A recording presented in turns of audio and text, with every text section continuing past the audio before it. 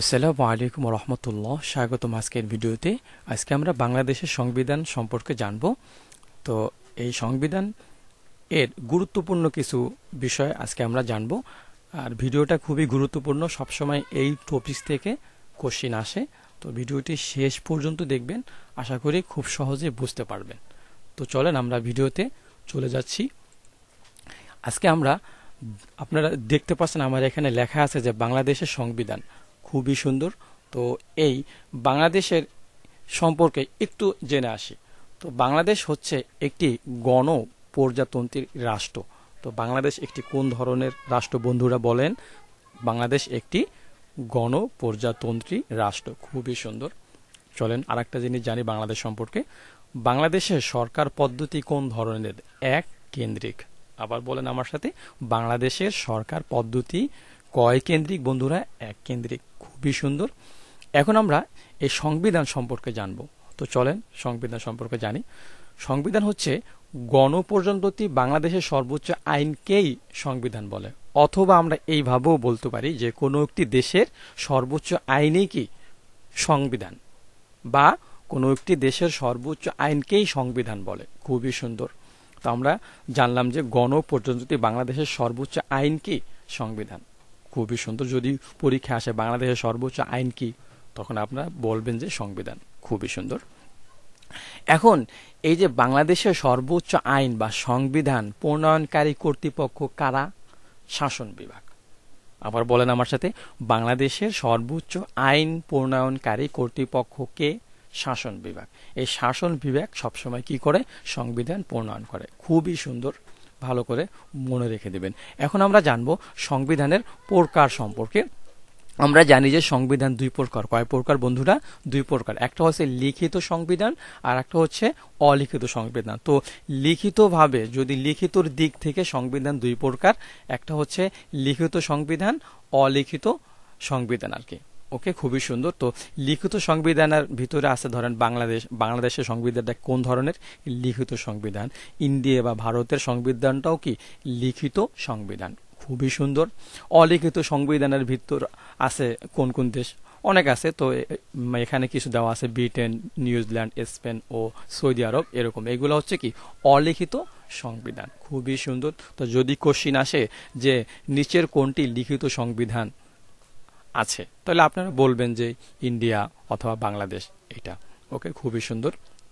চলেন, এখন আমরা সংবিধান সম্পর্কে সংখ্যা জাতীয় এগুলো জানব। তো এটা জানার আগে আগে আমরা জানি যে সংবিধানের রূপকারকে বাংলাদেশের সংবিধান এর রূপকার হচ্ছে ডক্টর কামাল হোসেন। কে বন্ধুরা? বাংলাদেশ সংবিধানের রূপকারকে ডক্টর কামাল হোসেন। খুবই সুন্দর।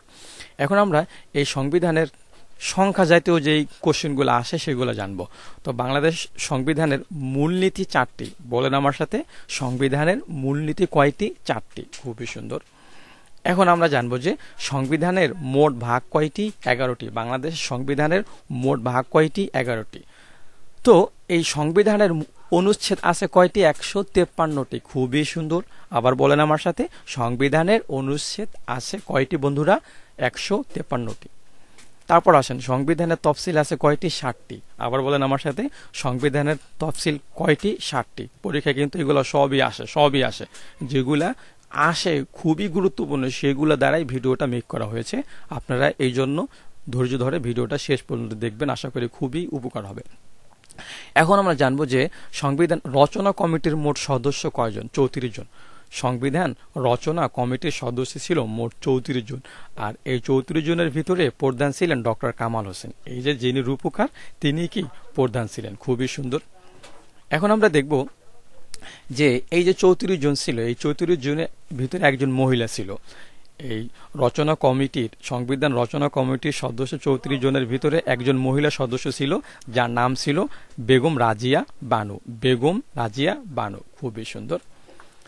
এই চৌত্রিশ জন সংবিধান রচনা কমিটির যে সদস্য ছিল, চৌত্রিশ জন, এদের ভিতরে একজন বিরোধী দলীয় সদস্য ছিল, যার নাম হচ্ছে সুরঞ্জন, সুরঞ্জিত সেনগুপ্ত। বলেন আমার সাথে যে চৌত্রিশ জন রচনা কমিটির যে সদস্য ছিল, তার ভিতরে বিরোধী দলীয় সদস্য নাম হচ্ছে সুরঞ্জিত সেনগুপ্ত। খুবই সুন্দর। এখন আমরা জানব বাংলাদেশের সংবিধান। তো বাংলাদেশের সংবিধানটা তৈরি করা হয় ভারত ও ব্রিটেনের সংবিধানের আলোকে। বাংলাদেশের সংবিধান কীভাবে তৈরি করা হয়েছে? তৈরি করা হয় ভারত ও ব্রিটেনের সংবিধানের আলোকে বাংলাদেশের সংবিধানটা তৈরি করা হয়েছে। খুবই সুন্দর। জাতীয় সংসদে সংবিধান উত্থাপন করেন কে? জাতীয় সংসদে কে সংবিধান উত্থাপন করেন? ডক্টর কামাল হোসেন। খুবই সুন্দর। জানতেই হবে, আপনারা দেখতে পাচ্ছেন আগুন জ্বলতেছে। এখন আমরা জানব যে সংবিধান সর্বপ্রথম গণপরিষদে উত্থাপিত হয় কত সালে বন্ধুরা? উনিশশো বাহাত্তর সালে বারোই অক্টোবর। বলেন আমার সাথে, সর্বপ্রথম গণপরিষদে উত্থাপিত হয় উনিশশো বাহাত্তর সালের বারো অক্টোবর। খুবই সুন্দর। এখন আমরা জানব যে সংবিধান গণপরিষদে গৃহীত হয় কত সালে? উনিশশো বাহাত্তর সালের চার নভেম্বর। খুবই গুরুত্বপূর্ণ, সবসময় জবে আসে যে গণপরিষদে গৃহীত হয় কবে? সংবিধান কবে গণপরিষদে গৃহীত হয়? উনিশশো বাহাত্তর সালের চার নভেম্বর। খুবই গুরুত্বপূর্ণ। এখন আসেন যেই সালে যেই তারিখে সংবিধান গৃহীত হয়, ওই তারিখটা, ওই সালটাকেই বলা হয় সংবিধান দিবস। তো যদি আপনাকে বলি যে, বন্ধুরা, সংবিধান দিবস কবে? আপনারা বলবেন উনিশশো বাহাত্তর সালের চার নভেম্বর। খুবই সুন্দর। এখন আসছেন, এই যে যে গৃহীত হইল, তারপরে সংবিধানটা কার্যকর হয় ষোলোই ডিসেম্বর উনিশশো বাহাত্তর সালে। বলেন আমার সাথে, সংবিধান কার্যকর হয় কবে? ষোলোই ডিসেম্বর উনিশশো বাহাত্তর সালে বা বিজয় দিবসের তারিখে। খুবই সুন্দর।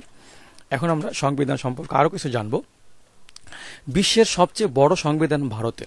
বলেন আমার সাথে, বিশ্বের সবচেয়ে বড় সংবিধান কোন জায়গার? ভারতের। খুবই সুন্দর।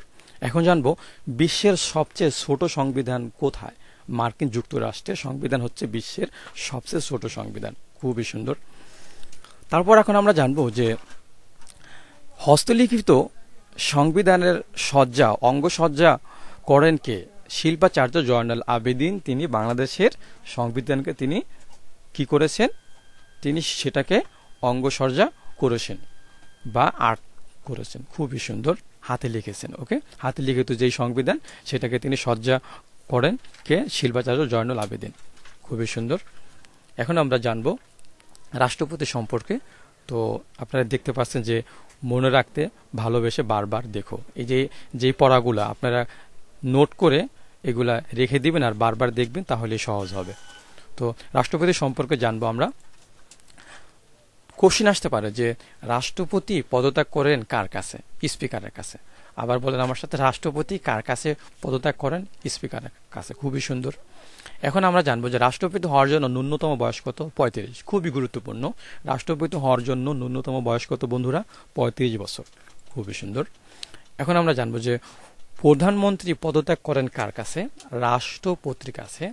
প্রধানমন্ত্রী কার কাছে পদত্যাগ করেন বন্ধুরা? মহামান্য রাষ্ট্রপতির কাছে। খুবই সুন্দর।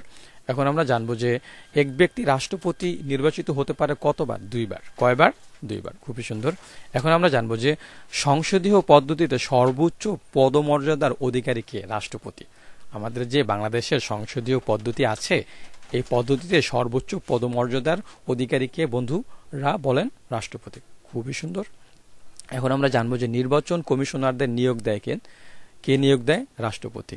নির্বাচন কমিশনারদের নিয়োগ দেন কে বন্ধুরা? রাষ্ট্রপতি। খুবই সুন্দর।